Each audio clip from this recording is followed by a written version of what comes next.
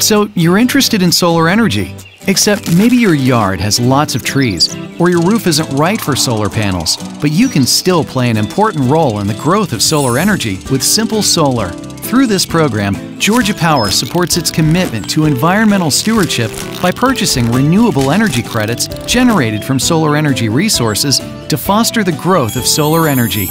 You can find more information online at georgiapower.com/simplesolar.